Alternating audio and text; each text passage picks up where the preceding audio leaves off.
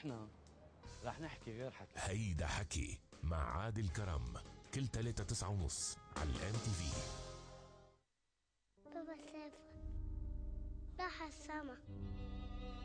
مثل الجمر قلبهم احترق على اولادهم نساء وعيالهم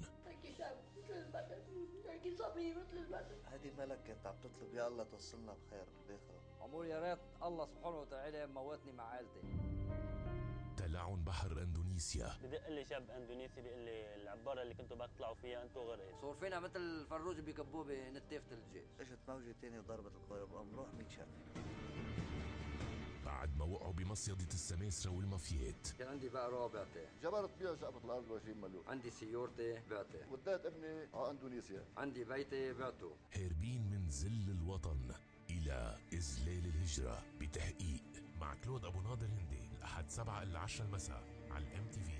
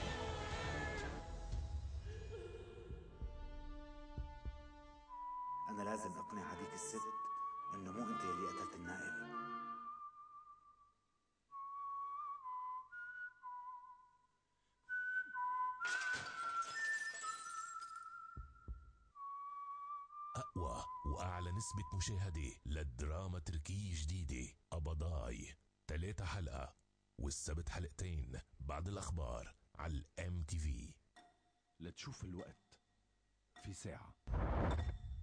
لتتوقع الطقس في ميزان. لتأكد تاريخ في رزنان ولتعرف بلد وين رايح. بموضوعين. تنين تسعة ونص مباشرة مع الام تي في بطاقة اير فرانس كايلان بنك ليبانو فرانسيز جمع لغاية مايل ونص مع كل دولار تصرفه بلبنان أو بالخارج تغاري عليه. أنا ما بخاف ما بتغار. أنا بلا بغار. على المسرح أنا هبة الوحشة. صعب كثير تلاقي هيك موهبة. عندها هبات أكثر ما إنه هبة. شو هيدا زمان فالصو بس ما بعرف أنا انه جوزي حكيم لإلي. جوزك حكيم ومع جنرال. عم بيقولوا عم بتبكينا وتضحكنا بنفس الوقت. كل دقيقة واحدة قاعدة بالسجن هو بصير يتمنى الموت ليش فجأة اختفيتي؟ كنت عم بعمل كروشيه. على طول في حديث عن علاقة غرام مع أسامة الرحباني. ما أنا إشي عم بشعر حديث البلد الليلة 9 ونص على ال MTV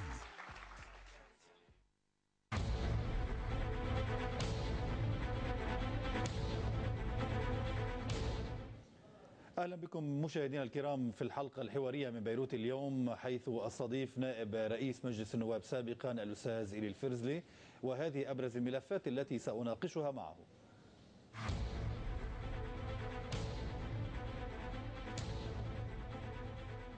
الخوف يخيم على عاصمة الشمال بعد استدعاء عيد ولماذا الأخير يعتبر خطا أحمر وهل طرابلس أمام معركة جديدة؟ بين مقاربتي الغرور والتواضع حول تشكيل الحكومة ما هو المنتظر على هذا الصعيد؟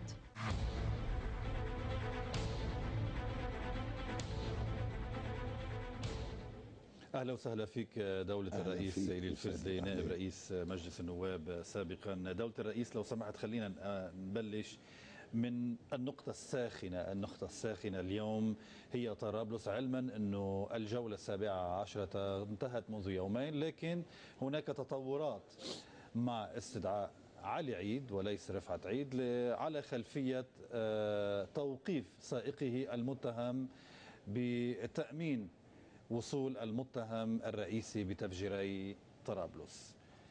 آه، أول شيء قراءتك مقاربتك للوضع في طرابلس؟ أولا نسارع إلى القول أنتم ونحن لإدانة ما يجري في طرابلس كبلد كعاصمة لبنانية أن تتعرض حقيقة. لشغلة مرفوضة وممجوجة اللي هي عبر لاستمرار حالة التفجير من من من كنفها واللي عم يدفع المواطنين الطرابلسيين بشكل عام هو الثمن لا شك إنه نحن متفقين في جزء من قناعة عامة إنه ما يدور في طرابلس هو نتيجة من نتائج التداعيات للمعركة الدائرة في سوريا. نعم. وللصراع في المنطقة ككل. وطرابلس تدفع ثمن هذا الصراع الدائر اليوم أصبح من الواضح جدا الربط المباشر. وقد صرح بذلك اللواء آه، أشرف ريفي أليس كذلك عندما قال أن معركة القلمون ستؤدي إلى ما تحبط عقباه على مستوى نتائج المعركة في طرابلس وحدد الأهداف. هذا الأمر إن دلل على شيء يدلل أن في ربط مباشر لما يدور على الساحة الطرابلسية وما يدور على الساحة السورية وهذا أمر لا يجوز أن يستمر ولا يجوز أن يدفع ثمنه أهل طرابلس. وأنا أعتقد أن الدولة اللبنانية وبالتحديد القوى الأمنية يعني آه، الدعم السياسي له والغطاء السياسي لو شعرت بجديته. هذا أنا أعتقد كان الإداء كمان بيكون أكثر تجرؤا على الوضع القائم. طيب لا شك أنه دولة الرئيس أنه هناك ربط مباشر بين ما يجري في الإقليم خصوصا في سوريا علما أنه يعني والدليل على ذلك أيضا الرئيس السوري في مقابلته الأخيرة يعتبر أنه جبل محسن له خصوصية خاصة وهو يعتبر كمحافظة سورية. شوف الحديث وين يعني في خصوصية سورية وهذا الربط. صحيح. لا هذا أحد أشكال الربط. لأنه الربط بده التانجو بده فريقين مش هيك؟ هذا بيقول هون بتعبير آخر. لماذا الربط المباشر يا دولة الرئيس؟ لأنه حقيقة قائمة لأنه حقيقة وهذا ليس بالأمر الجديد. كنا دائما حقيقة نردد قائمة شو يعني؟ كنا دائما نردد جغرافيا مختلفة. لا خليني اسمحني لك لا مش مختلفة لك ليس بالأمر الجديد أن وإلا شو كان مبرر؟ الفكرة الاستقلالية الأولى. استقلال لبنان نعم. بنى فلسفة حياد. نعم. ذات عظيم. مضمون استقلالي. مش هيك؟ شو قال؟ لا نريد لبنان ممرا أو مقرا لعوامل عدم الاستقرار. لا ذهابا ولا إيابا, ولا إيابا. هذه القاعدة تم مخالفتها بامتياز. كما أنه فكرة الاستقلال اللبناني منذ قديم الزمان قامت على المعادلة التالية. أنتم يا أمراء الجبل تقومون بحماية الثغور أي حماية الداخل العربي من الإتيان من البحر مقابل اعترافنا باستقلالكم. عندما يتم أب طلبات للهجومات من البحر على الداخل العربي يسقط ثقافة الاستقلال. ثم أتى فكرة الاستقلال وكان الصراع الكبير بلبنان بين الانضمام إلى سوريا أو الانسلاخ والتقسيم والذهب باتجاه الغرب وكان الحل بعباقرة الاستقلال عندما قالوا لا نريد لبنان مقر أو مقر. هذه هي فلسفة الحياد الحقيقية للبلد. طبعا كانت قبل زرع الكيان الإسرائيلي وإجا الكيان الإسرائيلي ليزيد التعقيدات ولكن لم يمر مرحلة من المراحل إلا كان لبنان واقف ضد فكرة زرع هذا الكيان وضد إسرائيل الأخطر من ذلك أنه عندما قاموا الزعامات اللبنانية قبل 68 و 67 يقولوا اتركوا لبنان داعما لوجستيا ودبلوماسيا وإعلاميا للمعركة مع إسرائيل أصرت فئات معينة واضحة الأهداف أن يذهب لبنان ويكون جزء من جبهة الهجوم على إسرائيل. وكان ما كان من إدخال أقحام لبنان بالصراع العربي الإسرائيلي اللي ما عدت قدرت طلعت منه. منذ عام 1967 حتى يومنا هذا. اليوم أنت شو بتدفع ثمن أن تدفع ثمن أنك حاولت بعد 2010 أنه يكون لبنان خارج إطار أن يكون جزء من الصراع الدائر على الساحة السورية رفع شعار النائب النفس الذي هو شعار صحيح مائة بالمائة ولكن عندما رفع لم يتم تعميمه على مستوى الأرض كما يجب فأقحم لبنان بالساحة السورية وكان الفعل وردة الفعل ولكل فعل ردة فعل مساوي له في القوة مضاد له في الاتجاه. يعني يعني بالعودة إلى ما قلته دولة الرئيس يعني بدأ لبنان يخرج من مبدأ الحياد عندما وضع نفسه في مواجهة إسرائيل. لا مش عندما وضع نفسه هو يجب أن يكون في مواجهة إسرائيل لكن المواجهة مش بس بالبارودي ما في طريقة أخرى للمواجهة. كانت بالدبلوماسية وبالإعلام عم بحكيك 67 و نعم. 66 ومرحلة عشتها وبعرفها يعني. عرفت علي كيف؟ أما أما وقد أقحم في الأزمة من فتح لأن وبجة فكان ما كان. ما عادش فيك تقول أنا بدي أرجع لليلة ال 67 نحن اليوم الأزمة أشد الأوجاع هي الأوجاع الحاضرة. في حرب دائري بسوريا في غاية الخطورة. بلشت في مرحلة معينة. لم يستطع اللبنان أن يبقى لا ممر ولا مقر لعوامل عدم الاستقرار. وتتذكر صاحب الغبطة البطرك الماروني طرح الصوت علنا في المحافل الدولية بفرنسا بالفاتيكان بلبنان نحن لا نريد لبنان لا ممر ولا, ولا مقر, مقر. لعوامل عدم الاستقرار في سوريا. هيدي الفلسفة الاستقلالية اللي البطركية المارونية تفهمها وتفهم فلسفتها تماما وكمالا ولكن لم يتم الالتزام أبدا.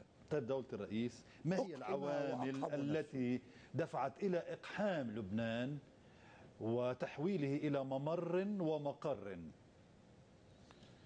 أنا رأيي العوامل واضحة بهال- بهالمنطقة ليك شو هي؟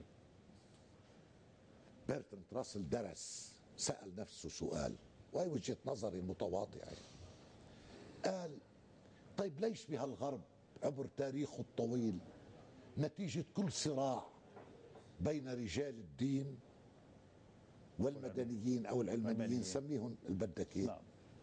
دائما كانت انتصرت بالنهاية الفكرة العلمانية. أي أنه ما لله لله وما لقيصر لقيصر. مش هيك نعم. بالشرق على طول نتيجة الصراع بين الإكليروس أي رجال الدين عم نقول الكهنوت. مش عم بحكي بس بالإسلام والمسيحية عم بحكي من أيام الميسوبوتاميا وبلاد الفراعنة. لليوم المعركة كان ينتصر فيها دائما رجال الدين طرح سؤال طرحه على نفسه لماذا؟ قال لأن الشرق شرق والغرب غرب هذا الشرق منطلقاته منطلقات طائفية دينية. طائفية. ودينية ويجب أن نعترف بذلك ونقول بصراحة وعلنا وعلى رؤوس الأشهاد أنا عروبي بامتياز انتبه هو حدا يكون عنده إشكال عروبي بامتياز ولكن يجب أن أعترف أن الت- التيار الديني غلب وقهر ولوى الذراع الخلاف أنه أنا في معركة ذات طابع مذهبي في مكان ما بدي أتورط بالصراع مع الشريحة المذهبية الذي أعتقد أنها إذا انتصرت تتحول إلى عمق استراتيجي إلي للانتصار على الجميع الذي أنا عظيم. أعاديهم في الداخل أنا الي- اليوم معركة شو؟ كمان بين الإكليروس بين ال- بين طابع ال- ديني بين ال- بين ذات الدين طابع والعلمانية. طائفي. ذات طابع طائفي طبعا طبعا طبعا دون تردد. أحد جوانبها الرئيسيه أحد خلفياتها الرئيسيه وإلا كل هلا بيصير قدامك شو؟ شو كلها بيصير قدامك؟ الثورات العربية ليش انطلقت هذا انطلقت المسيحي من طابع هذا المسيحي اللي بالعراق اللي قاعد عم بيزرع بسهل الأنبار. أو بسهل نينوى اللي ما بيعرف شو فيه بهالدنيا. ليش راح عليه وانقتل وانضربت كنيسته ومعبده لا شو السبب؟ لا له علاقه بالسلطه ولا بيأثر بالسلطة ولا بيقدم وبيأخر بالصراع. ليش راح الله وانضرب شو السبب؟ طيب إذا اعتبرنا بقية مكونات المجتمع بصرف النظر أن بعمل دراسة موضوعية كمراقب لما يدور على الساحة. طيب اطلع إنه هاو يمكن يزيد هون شريحة يمكن هون ينقص شريحة بس هذا المعطر هذا اللي شو شو عمل؟ شو قدموا أخروا هاو المطرنين اللي انخطفوا؟ لحتى ينخطفوا أم ينضغط على مين؟ في غير خطة بخلفية دينية تهجير. هذه الشريعة التي يمثلها خيل بطرك ومطران اسمه يوحنا إبراهيم بيمثل طائفي عميقا. اسم الطائفي متجذرة عميقا في هذا الشرق اسم الطائفة السريانية الأرثوذكسية شو عم بيصير شو عم بيصير بمصر؟ إنه 10 12 مليون. الإخوان بيقولوا سبعة ثمانية. يا سيدي سبعة ثمانية. ما إلي علاقة بالعدد أنا. إيه؟ إنه ما بيطلع لهمش نايب يتمثلوا بمجلس الأمة. شو من بين الصدفة؟ بينزرع الكيان الإسرائيلي 22.5 مسيحية بفلسطين المحتلة. بتصفي اليوم ماشي. بهذا العصر 0.05 نعم. من قبيل الصدفة. بلد مثل لبنان أبديش أذكر 75 وما تبعها من مجازر أدت إلى ما أدت من هجرات بدي أعتبر لبنان بدأ فتي منذ عام 1989 بعد اتفاق الطائف. نجي بدنا نطبق اتفاق طائف تم الاتفاق عليه بتاخذ صلاحيات رئيس جمهورية لمصلحة مجلس وزراء مجتمعا مقابل توقيف العبد على أساس مناصفة في مجلس نواب بتصفي القصة تنفيذ خطأ للدستور. بنحطها بظهر الوصاية بتفل الوصاية. بضل التمترس والعناد والفجور بالاعتداء على هذا الدور.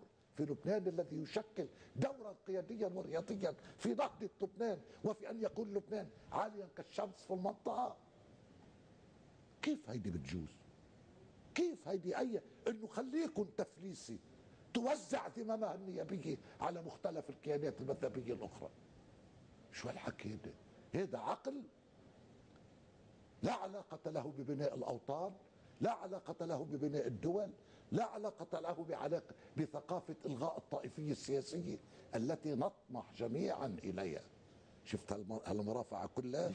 شو قلت لك بالآخر نطمح إلى نطمح جميعا لبناء دولة ذات طابع علماني طابع مواطني طابع, طابع المجتمع المدني الحقيقي. على أي أساس؟ على أي أساس؟ على أي أساس؟ مساواة في الحقوق والواجبات. على نحن مجتمع طائفي. على أساس يكون في أخلاق دستوريه عظيم رحنا لمطرح ثاني بس خلينا نفتح نافذة. خلينا نفتح نافذة بهذا الإطار. لا شك لا شك طب على أي أساس نطمح إلى بناء هذه الدولة العلمانية سميها مدني مش علمانية مدنيه مدنية. ونحن 17 طائفة هذه الطوائف ترسم توازنا معينا فيما بينها جيد. حافظ يعني التوازن. كيف إذا شلت الطائفية؟ كيف بحافظ على التوازن؟ لا لا تك تك. هيدي مقاربة تك تك تك. أولا أنا أنا شخصيا هذا بقول لك طموح. بس نحن شو قلنا بالدستور؟ شو بيقول الدستور؟ بيقول تؤلف لجنة تدرس السبل الآية التي يؤدي يمكن ما تتوصل. يعني إذا أنت يمكن ما تتوصل. آه طبعا. عظيم. أنت يعني إذا هيدي اللجنة يلي قصدينا ما تتوصل. طبعا. وكل ومثلها ومثل كافة اللجان التي طبعا. تشكل لهيك سرق القصة من سنة ال 26 التماسا للعدل والوفاق تراعى مصلحة الطوائف بصورة مؤقتة. مش هيك بدستور ال 25 ورجع اتأكد بدستور ال 43 ورجع اجى على دستور ال 1989 الطائف. يقول وتراعى مصالح الطوائف بالأحوال الشخصية أيضا. معنا موجودة موجود. موجود طيب ما الدستور قال لك أنت مجتمع طوائفي؟ من الآن وحتى يتم إلغاء الطائفية. بدك تنجبر تراعي مصلحة الطوائف وتنجبر تأكد على صحة تمثيل الطوائف وتنجبر يكون هذا التمثيل له فعاليته وصحته. ما زال بنجبر. مش أطفال انابيب قديش نحن بعيد اليوم عن مراعاة التوازن بين الطوائف. في في, في بعد هائل. بعد كان مسؤولية مين دولة؟ ها؟ كل فريق سياسي أو كل طائفة سياسية تقوى في الدولة تحاول يعني إضعاف الطائفة الأخرى. بشفافية. يا خيي الأمور بنتائجها. امور بنتائجها هذا طبعا. الحيط وابنيش نقول الكردي لأنه بيزعلوا. حبيبي في طوائف عندك. هيدي البيئة كلها من هون. هلأ في جزيرة بأندونيسيا. اسمها ملكو. ما بعرف شو اسمها نسيت بدها مساحتها 44 ألف كيلومتر مربع. فيها مليون ونص مسيح. نعم. تعرضت لإجتياح من شكل ما. إجتياح ذات طابع سلمي اخت- احتلال الأرض شراء الأراضي كذا. قامت الكنيسة صرخت اجت الأمم المتحدة حطت إيدها أعلنت استقلالها قالوا لها أنت جزيرة مستقلة. 44 ألف كيلومتر مربع فيها مليون ونص. نحن لا نريد هذا النوع من الاستقلال. نحن عم نقول حفاظا على وحدة الأرض والشعب والمؤسسات. حفاظا على هذا البلد وهذا الوطن وهذا الذي شيء له أن يكون رسالة وأكدتها البابوية والبابا برسالته بالسينودوس لكي يبقى مسيحية لبنان كما مسيحية طيب. المشرق وبكرة باثنين وبثلاثة في مؤتمر المسيحيين المشرقيين بال- بالحبطور باثنين وبثلاثة الشهر وجايين شخصيات عربية كثير اثنين وثلاثة نعم. السبت لكي يبقى ذات طابع رسولي انصف وطبق الدستور بصورة سليمة. ما بيطبق لا نتيجة الخلفية الطائفية. طيب هيك العلاقة بين الطوائف هون والطوائف الأخرى ببقية مناطق العالم العربي والإسلام. نحن هذا الشرق هو شرق. الخلفية خلفية طائفية. نحن لا نستطيع أن نستمر في هذه الطريقة من التصرف. نحن نريد هذا اللبنان بالساعة البدي بقول لبنان أولا بس إلي مصلحة وبس بفتح شري شراهتي وشهيتي بس إمكانية تغير الطابع الديني في حكم بلد. بتصفي لبنان مش أولا. بالساعة البدي القصة مزاجية ومصلحية. أقدموا على فك الارتباط بين أزمات المنطقة ولبنان هذه هي المدخل الحقيقي لإنقاذ طرابلس من براثن لحتى نرجع رجعنا. بس بدي أرجع أنا, بدي شاب. بدي أتوقف آه، قليلا عند الصور آه، صور وصول الجثامين آه، الذين وصلوا اليوم من إندونيسيا لدى وصولهم إلى منطقة البحصاص هذه الصور الأولية لوصول هؤلاء الجثامين جثامين اللبنانيين الذين كانوا ضحية غرق ال- المركب في اندونيسيا ما بعرف اذا فينا نسميه مركب. خلينا نرجع دولة الرئيس إلى موضوعنا. طرابلس. اليوم طرابلس في القضاء اللبناني. فرع المعلومات أول شيء مسك القضاء اللبناني قضيتي التفجيرين. المعلومات آه، في اتهام ل- لشخصية مقرب. تعرف أنا محامي جنائي عظيم عظيم.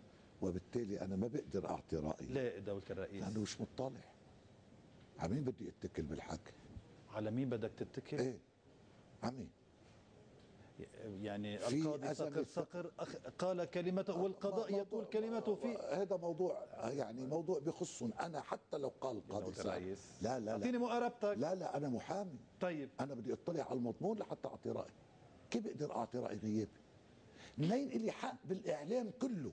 ليك ضلينا أربع سنين اجتهادات ما أنزل الله بها من سلطان بقصة الضباط الأربعة. يعني هناك تشابه هناك تشابه بقضية رفعت عيد لا لا ما بدي. بقضية تفجير طرابلس. لا لا شو؟ لا ما ما بقول هيك. تفضل. أرجوك تفهمني أنا الأمور قياسا عليها. ضلينا أربع سنين نسمع اجتهادات ما أنزل الله بها من سلطان.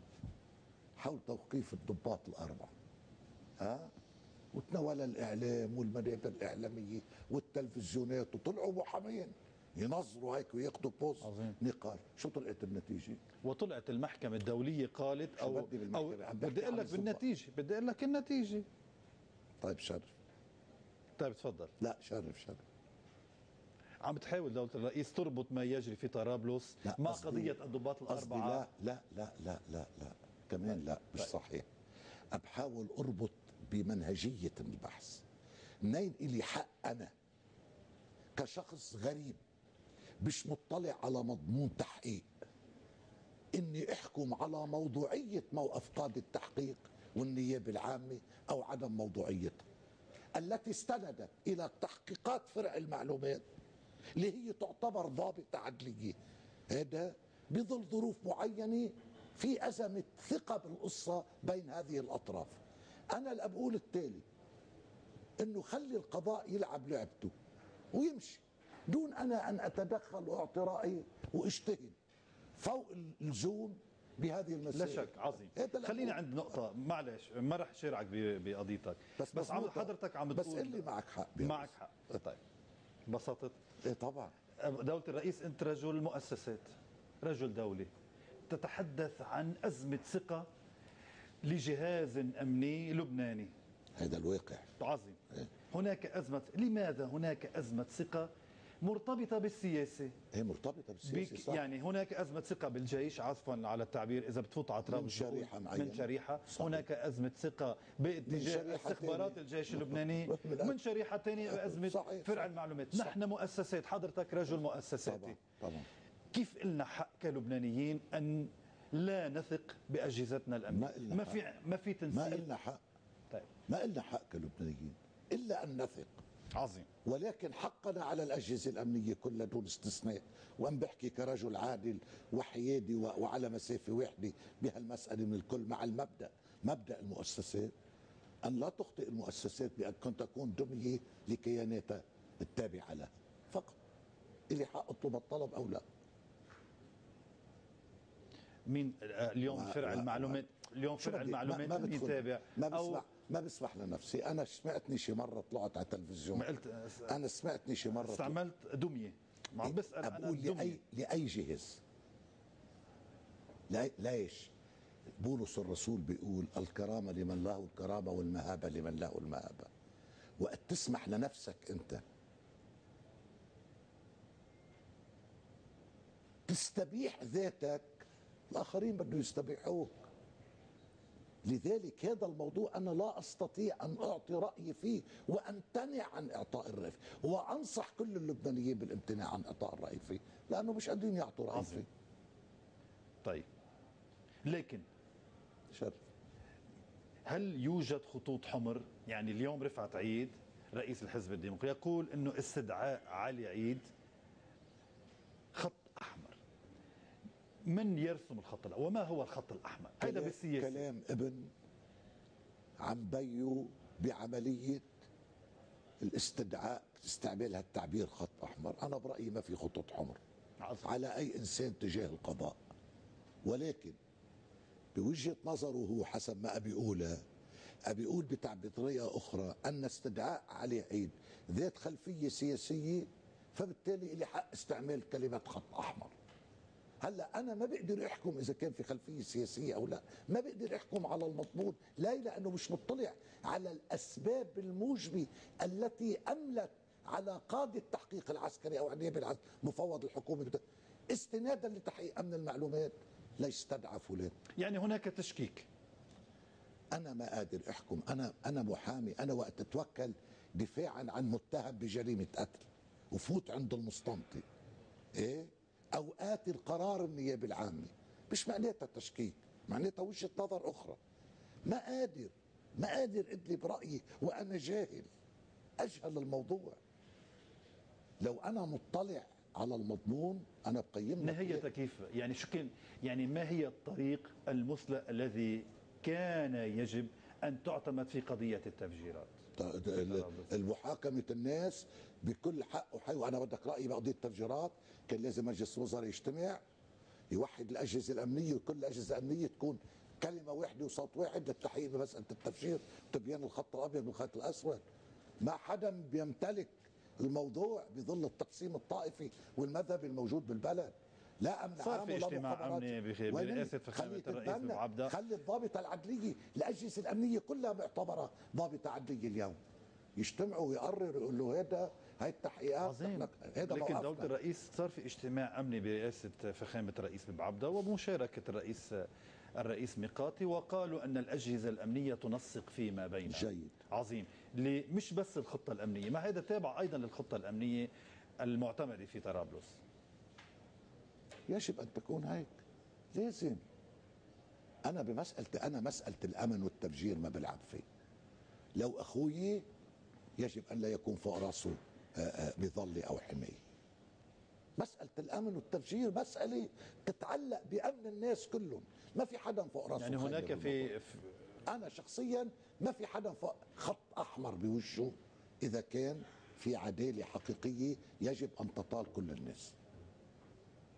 واضح الكلام؟ واضح. عظيم. ما بدك تحكي عن طرابلس ما بدك تحكي عن هذه المقارنة. أنا الأمنية لا ما بحكي عنها لأني ما بعرف فيها بس السياسيه نعم. نعم. أهل طرابلس بيعرفوا حقيقة الوضع على الأرض. وأهل طرابلس أقول لك عن الراي العام الطرابلسي كله بيعرف حقيقة الوضع على الأرض. بالأمن وبالسياسي وبالتصرف وبالخلفيات وبالأبعاد القريبة والبعيدة. بس حرام طرابلس تدفع اثمان عظيم. طرابلس تدفع الاثمان لكن معلش خليني أطرح هذا السؤال بشفافية معلش دوله الرئيس إلى أي مدى السياسيون اللبنانيون متورطون بما يجري بطرابلس متورطون حتى بدفع الأموال حتى بتوزيع السلاح حتى آه شو؟ بإعطاء الخط الأخضر وإعطاء الخط الكلام, الكلام الذي قيل وردد بالقدر اللي بنعرفه نحن كمواطنين عاديين بنتلقى في الأخبار. قيل الكثير حول الموضوع حول تورط السياسيين بالقصة وحول الدعم المادي وحول محاولة بعض السياسيين يعملوا زعامات على أنقاض الاستقرار عبر إفراز رموز الحرب وتمكنهم من الشارع بطرابلس. قيل الكثير مش قيل الكثير لكن آه. موقف إلي الفرزي شو بيقول؟ أنا ضدهم علنا ضد هؤلاء السياسيين. لا لا شك ضدهم. إنما تعتقد إنه هناك تورط لبناني وليس طبعا شو؟ طبعا تورط لبناني. طبعا في تورط لبناني. اللبنانيين هن الوكلاء المعتمدين. هن البروكرز. ولو في شك بالقصة يعني. يعني إنه خلفية التورط دوله الرئيس. خلفية طائفية أم خلفية سياسية بامتياز بامتياز طائفية ومذهبيه تبدأ مذهبيه وطائفيه وتنتهي سياسيه طبعا. أو سياسيه ملبسه أو طائفيه ملبسه بالسياسيه أو العكس. الأمور نتائجها واحدة هي إنه أهل طرابلس عم يدفعوا ثمن كلهم سوا دون استثناء. لا شك دولة الرئيس هذه الحكومة يعني فيها من جميع الألوان والأطياف الطائفية والمذهبية.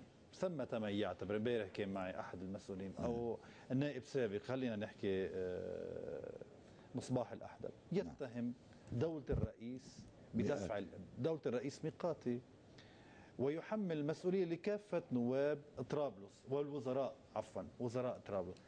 يعني هل الحكومة اللبنانية منقسمة فيما بين في طرابلس طائفيا وسياسيا؟ منقسمة وين من كان. من أول يوم تألفت.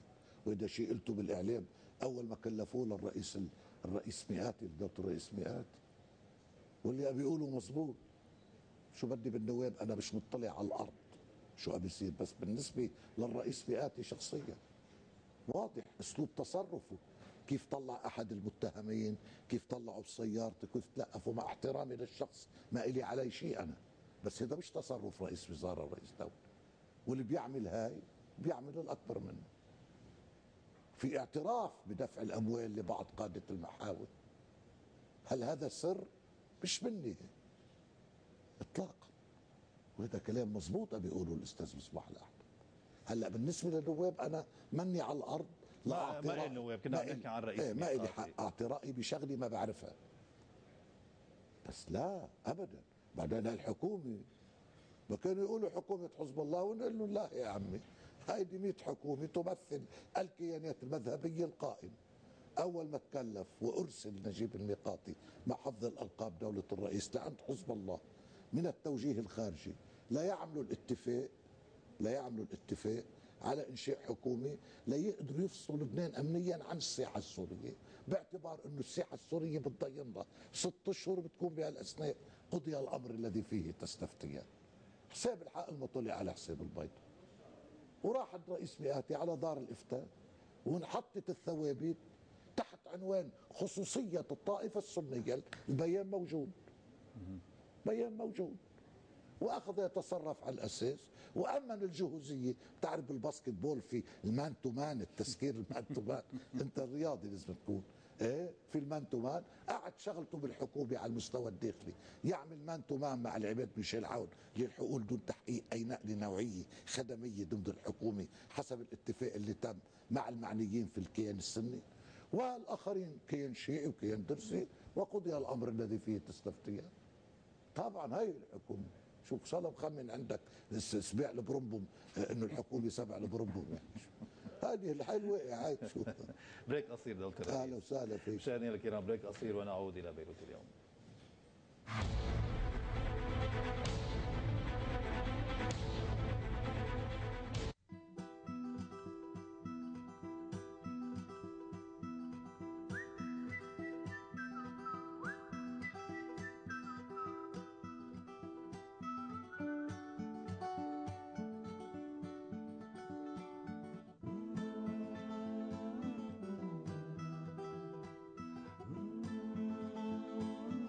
أوقات دفعة صغيرة بتحقق الكتير القرض الشخصي من بنك بيبلوس.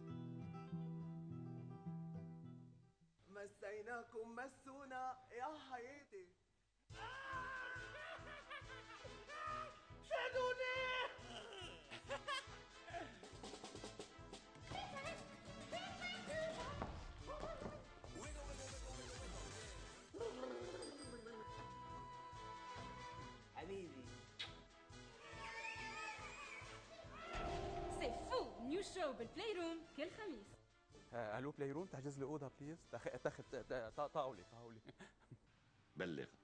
نحن الأشخاص المعوقين نطلع 10% من الشعب اللبناني. 83% منا ما عنده شغل. 85% كمان منا أفقر من الفقير. صحيح إنه البلد خربان بس خلينا نبلش من شي محل. حقوقنا عم تنهدر ونحن عم نتفرج. سوا نعمل تأثير. بلغ تنحول شكوانا مطلب للتغيير. مرصد حقوق المعوقين.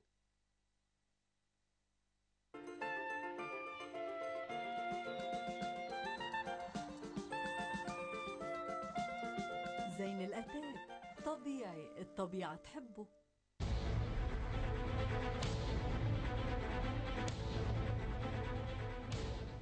أهلا بكم مشاهدينا الكرام لمتابعة هذه الحلقة من بيروت اليوم وضيفي الأستاذ إلي الفرزي دوله الرئيس نائب رئيس مجلس النواب دولة الرئيس. عم نحكي عن الحكومة. يعني معلش خلينا نروح شوي إلى كلام السيد حسن نصر الله وهذه المقاربة التي رماها بين مزدوجين في وجه 14 اذار تواضعوا وتعالوا إلى صيغة تسعة ستة اليوم ربما غدا لن تكون هذه الفرصة متاحة لكم. يعني 14 أدار اعتبرته مكابرة. المستقبل اعتبرت خطاب الغرور والاستعلاء. السؤال اليوم إذا كل فريق هالقد متباعد إذا كل فريق عم يتعامل مع الثاني بالاستعلاء والمكابرة ويدعو الآخر إلى التواضع. نحن بأي اتجاه رايحين؟ اتجاه وحدة الصف أو الانسلاخ التام. قبل ما نحكي لوين رايحين الاستاذ وليد بيك جنبلاط الذي هو يشكل لا يزال حتى اليوم وفقا لموازين القوى النيابية القائمة بشكل بيضة الاربان ها؟ هو الذي قال عندما أعلن صرف النظر عن صيغة 888 قال هلأ مناسب تسعة ستة وخلينا نعملها كنا عم نحكي هلأ. ستة ستة من زمان يا دولة إيه إيه الرئيس. هذه بطل الطرف الآخر. لا من زمان الطرف هو التالي. الطرف الآخر عم بيقول في خريطة نيابية في لها احجامها الشيعي رح يتمثل بكل حجمه. الدرزي رح يتمثل بكل حجمه. الشيعي رح يتمثل بكل حجمه. شرفوا على المسيحي. شوفوا الخريطة النيابية ومثلوا بكل حجم. تمنع قالوا 8 8 8 اجى بالآخر نتيجة تطور الظروف الإقليمية. وليد بيك جنبلاط شو قال؟ قال هيدي معش متوفرة. خلينا نمشي التسعة تسعة ستة يمكن تكون هلا أفضل من بعدين ما بيعود يطلع لكل شيء. إذا مين قالوا؟ الأستاذ وليد بيك جنبلاط طبعا مش نيته المكابرة الأستاذ وليد بيك. وقت اجى سماحه السيد عمل خطابه عم بيرجع بيأكد مضمون هذه المقولة. ليشجع الأطراف ويستفزهم يستحفزهم إذا صح التعبير.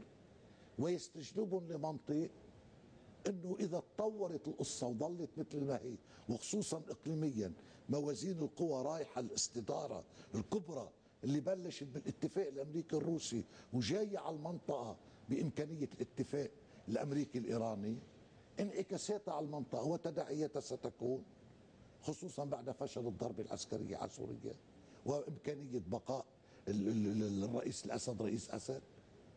ستنعكس سلبا على الساحة وبالتالي قد لا تكون متوفرة موازين معلش بدولة الرئيس حضرتك قلت إنه استخدم هذا التعبير استخدم هذه المقاربة لجذبهم إلى إلى هذه الحكومة. يستحفزوا يحفزوا بس برأيك هيدي هيدا عامل جذب أم عامل بعد؟ يعني حقا 8 اذار تريد تشكيل الحكومة حتى بهذه حال أم, أم شو؟ أنا قراءتي المسألة مش مسألة 8 أدار ولا 14 أدار. مسألة مسألة موازين قوى إقليمية وفي اصطفاف إقليمي آسي عرفت علي؟ تغير الاصطفاف الإقليمي؟ إيه طبعا في متغيرات. أعطيني قراءة المنطقة بعد الذي طرأ يجب أن يتم بمعطى آخر تماما وكمالا. ليك حبيبي طيب البروتوكول الأمريكي لا، الروسي لوين بده يوصل؟ نحن لازم ما يغيب عن بالنا إنه هذا الاتفاق الأمريكي الروسي اللي بلش بالمكسيك وأنتج جنيف واحد. جنيف واحد اللي حمل بطياته إسقاط ثقافة التدخل العسكري وتطبيق النموذج الليبي في التعاطي مع أزمات المنطقة. واللي أخذ بعده بعدين سنة ونص أعطيت الأطراف المحلية الإقليمية فرصة لإسقاط النظام السوري باعتبار إنه الرئيس الأمريكي مشغول بالانتخابات ومشغول بنتائج الانتخابات وبعمليات التسلم والتسليم. ولم يوفقوا يوفقوا بتحقيق هذا الهدف لا بل بالعكس. التطورات الميدانية العسكرية أدت لإنجاز خرق استراتيجي ونوعي على مستوى الساحة الدمشقية. انعكس عندما قيل أنه استعمل الكيماوي لإمكانيات ضربة عسكرية انتهت بالشيء المعروف باتفاق أمريكي روسي وانسحاب البواخر الأمريكية من مقابل الشطوط السورية. هذا الوضع شو عمل؟ رفقوا المملكة العربية السعودية اللي لها دور مركزي وأساسي ليس فقط في لبنان في المنطقة أيضا. ما فيها تطلع إلى التطورات التي جرت إلا استنادا لقلق استراتيجي عميق إن تطورات حقيقية عميقة. أولا فشل إسقاط الرئيس الأسد وهذا سيكون له ارتدادات كبيرة. ثانيا ما فيهم يتطلعوا للاتصال الهاتفي اللي عمله الرئيس أوباما بالرئيس روحاني؟ نعم. ويعلن مش بس اتصل أعلن إنه هو الذي أقدم على الاتصال. هيدي أهم من الاتصال. ما في هيدا يقراه ومعه حق السعودي إنه ما يقراه قراءة سطحية. هذا بده يروح لتحت الطاولة. إنه في تحت الطاولة شوط تم أكبر بكثير من حقيقة الذي أعلن عنه. ما في يتطلع تطليعة سطحية إلى موافقة الخمسة زائد واحد على التخصيب ضمن إيران وعلى مسألة التسليم بمبدأ البرنامج النووي السلمي. ما في يتطلع تطليع سطحي إلى مسألة بدء الانقلاب الموقف التركي والقطري بمسألة بالإعاز المعروف بمسألة فلنذهب إلى الحلول السلمية وإلى جنيف وخلينا نبعث خبر لحتى نلقط الناس اللي بيتعاطوا بسوق القطع وباللعب بالضغط على الليرة السورية. ما فيهم يتطلعوا تطليعة سطحية بالحديث إنه أمريكا وروسيا اتفقوا وأمريكا بدها تدير ظهرها للمنطقة على قاعدة إنه في نفط صخري وغاز صخري عندها. ما فيهم يتطلعوا تطليعة. كل هذا القلق الاستراتيجي هو الذي دفع المملكة لكي تقول أنا بديش أتعاطى بلبنان. شو يعني عدم التعاطي بلبنان؟ يعني أنا لن أتدخل في المحاور الساخنة لوقف عملية التدهور لأنه بطرابلس لو بده يصير في استقرار مين المخول أكثر شيء؟ مين اطلع بالماضي على طرابلس وقعد على الأرض وعمل الاستقرار؟ مش المملكة العربية السعودية مش هي اللي عملت الاستقرار. اليوم السؤال المطروح بظل غيابها أصبح ما في استقرار. هل ستذهب الدول مثل الولايات المتحدة الأمريكية وغيرها لتتصل فيها لتقول يجب أن يكون هناك استقرار وبالتالي كي يتم قبض الثمن أم لا؟ هذه أمور كل الساحة اللبنانية تحولت إلى ساحة مباحة ومتاحة للجميع. من لا يدخلها يشعر بالخسارة. وكل هذا سببه هذا الانقسام العمودي في لبنان. هذا لا يحل. إلا باتفاق حد أدنى من الاتفاق عظيم عظيم. حلو بدولة جامعة. الرئيس. لكن هذا هاتين اللهجتين أو بالأحرى لهجة السيد حسن نصر باتجاه المملكة. وباتجاه 14 اذار يلي اعتبروا إنه هذا الخطاب الاستعلاء وال والغرور. هيدي كيف بتوحد الصف؟ كيف بتو... ما- كيف بتبرد الساحات ما الساخنة؟ بتبرد. هيدي ما بردت الساحات ردة الفعل على الخطاب. ردة الفعل. على الخطاب أو فعل الخطاب يا لو أنا أنا أنا سمعته للخطاب وأنا سمعته. أنا أنا أنا لا شك في في رسالة واضحة إني أنا كسيد حسن نصر الله أنا مدرك للتطورات التي طرأت والاستدارة التي وقعت واللي معتبر إنه التطورات لمصلحته وحكي أقوى من هيك بكثير. عند الكادر إنه نحن. انتصرنا. نعم. لا واضح. نعم. يعني وهذا شغلي وجهة نظره. ليش أنت العبر؟ إذا قال إحنا انتصرنا معناتها عبي كبير. ليش أنا بدي أعتبرها مكابره أنا خليني أعتبرها. وادرسها على الوجه الثاني هل لي مصلحة كلبناني وكطرف آخر بإني أن أوافق على هذه المقاربة أم لا؟ مقاربة الحكومة الجامعة. هذا هو السؤال. لأنه عمل هو مقاربة بالآخر. نسيل كلام بالشكل اللي أنت إذا بدك المشكل تاخده بعين الاعتبار. خو المقاربه الإخلانية. بين عدم وجود حكومه بالمرة وفراغ وبين وجود حكومه جامعة أي أفضل؟ حتى لو كانت الحكومة الجامعة بدها تعمل بعض التعطيل بسبب حق الأطراف بالتعطيل. إن كان هذا أو هيك. أي أفضل؟ اعمل لك هيدي الم- المقاربة. أنت ليش بدكش تشوف الزاوية الإيجابية أم تتعمد تشوف الزاوية السلبية؟ على كل على كل. أنا كمواطن لبناني ما إلي علاقه أنا مني مني حزب الله ولني ده. أنا كمواطن لبناني أنا أقول للطرفين أيضا اذهبوا باتجاه الوفاق أنا أطالبكم بالوفاق على أي قاعدة الوفاق؟ سيد الرئيس ما بدهم على أي. على أي قاعدة هذا الوفاق؟ على قاعدة أن البديل للوفاق انتظار نتائج الانتصار النهائي لطرف من الطرفين وساعتها بدك تتعاطى مع النتائج. يعني هل اقتربت برأيك دولة الرئيس النهايه آه، بسوريا؟ بدها ال- بدها سنة على أنا بقول خلال سنة نحن بنكون دخلنا مش بس انتهاء ب- بسوريا. أنا عم بحكي على مستوى المنطقة. في سايكس بيكو جديد. بده يرمي بثقله على كامل المنطقة. يعني بعد أنت يعني ما تنسى في حال في حال ما تنسى ما تنسى عفوا. ما تنسى. ما في انتصار لمحاور في اتفاق يعني هيك اللي عم يحكي عنه صحيح. آه، سماحة السيد. طبعا. يعني في حال انتصر هذه يعني سقطت سايكس بيكو اثنين. خي إذا- حبيبي. لا سايكس بيكو خلص صار- طارت بكل الظروف يعني طارت. ب- برأيي إنه أنا قارة بيكو جديد. قارة عجوز. وقف ديف آه، ساترفيلد. مش ساترفيلد رامسفيلد.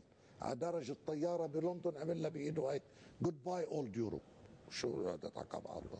امبارح فاتوا على مالي عازوا الطيارات الأمريكية لتنقل الجند شو نضحك بعضنا بالموضوع؟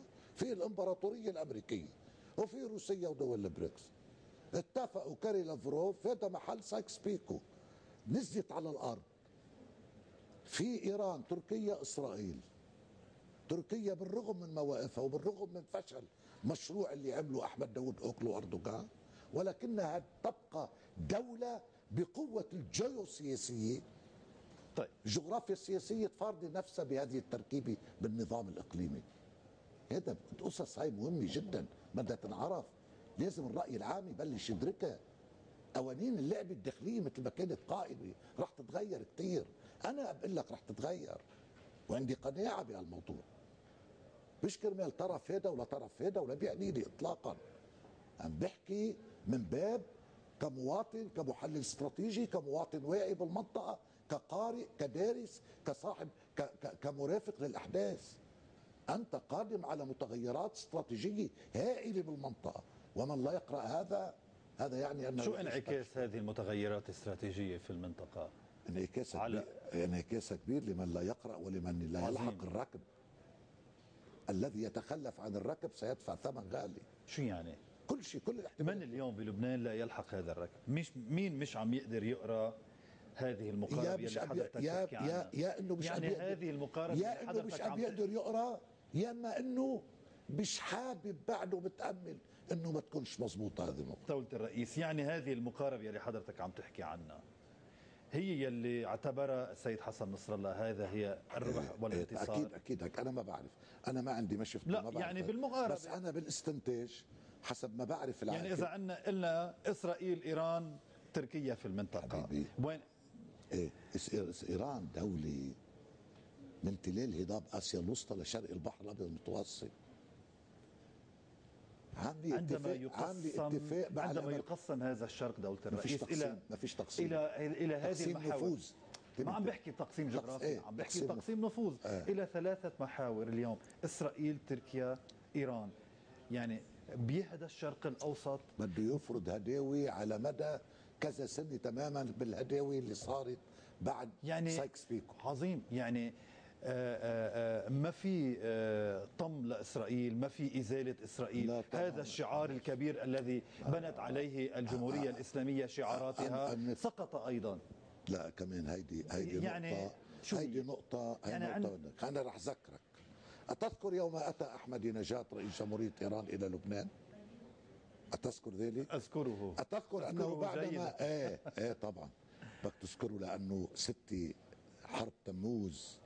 هي التي غيرت المعادلات بدك تتذكرها طيب كتير. دولة الرئيس حضرتك لا خبرك على. المحاور لا أنا رح وصلك لإلها وصلنا. شفت بس فل أحمد نجاد من هون عمل خطاب سيد حسن نصر الله قال ماذا تريد إيران من القضية الفلسطينية؟ إنها تريد ما يريده الفلسطينيون والعرب. المفاوضات الدائرة بين الفلسطينية والإسرائيلية اليوم السرية الذي حدد عمرها تسعة أشهر واللي مر أربعة أشهر واللي بتتم بحضور مارتن أنديك رعاية أمريكية ممنوع يطلع تصريح واللي ذهب العرب بقرار بالجامعة العربية بعد أن طردت سوريا ولم يكن لهذا القرار أن يصدر لو انه سوريا موجودة عظيم. ذهبوا إلى أمريكا شو عملوا؟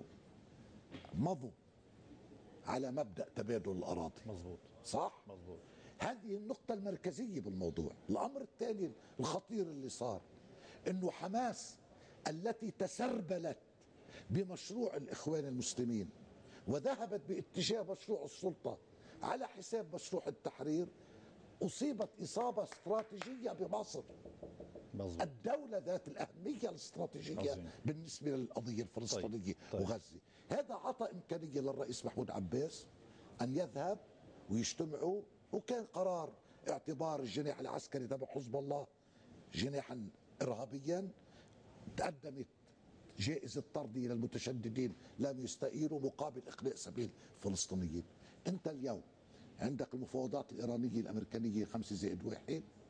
بس على الموقف الإيراني من هذه المقارنة. واصل واصل لعندك. بعد عندي أربع دقائق و- معلش طيب. هي أهم من كلها. بد- بدك الاتفاق الأمريكي الروسي المفاوضات الأمريكية زائد خمسة واحد مع إيران اللي أنا بعتقد قاطعة شوط أكثر من الظاهر بكثير عندك المفاوضات الاسرائيليه هذا عندك جنيف اللي بده ياخذ وقته تبع سوريا بالتواكب مع المفاوضات الإسرائيلية الفلسطينية. هاو نتيجتهم شو؟ هاو بيت القصيد بالمنطقة الذي سيعكس واقعا معين استراتيجيا يفرض نتائجه على المنطقة. أما إيران ستقبل بما يقبل به الفلسطينيون. ما بتعترف بإسرائيل؟ ترفض إسرائيل. يعني سبقتني يعني كيف تقبل بما يقبل به الفلسطينيون وقبول الفلسطينيين؟ حضرتك مثل ما عم تقول مستوى متدني جدا. على الفلسطينيين. يعني استسلم. على العرب. شو بتعمل ملكية أكثر من المل... عظيم. بتضل إخذي موقف مبدئي. أنا هيك تبي أنا ما بعرف الإيرانيين. أنا ما في اتصالات بيني وبينهم ما بعرف.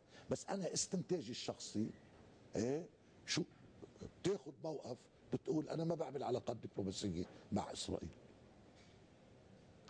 بس في هدنة مع إسرائيل. لك هيك بده يصير. أنا بقول لك هيك بده يصير.